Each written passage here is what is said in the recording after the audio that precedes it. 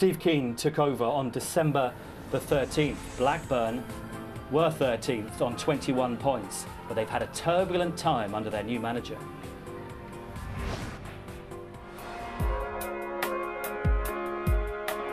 Kalinic for Blackburn. It's got a load, and he the opening goal. The first one in charge of Blackburn for Steve Kean. I'm confident that I can take the club forward. I think it's going to be an exciting time for the club.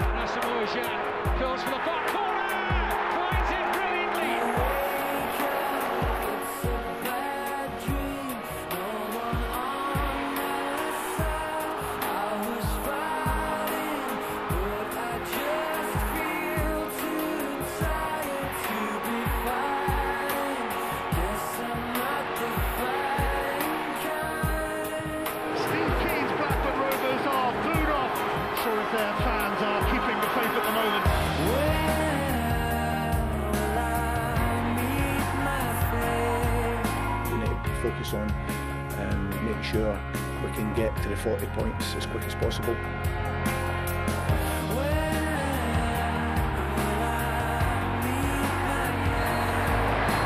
Blackburn remain in trouble. They still look nervously over their shoulders.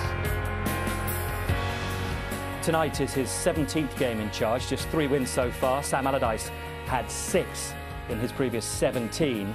Kean, though, remains confident. He's speaking to Andy Burton. Well, Steve, has it been a good weekend for Blackburn Rovers with And also available in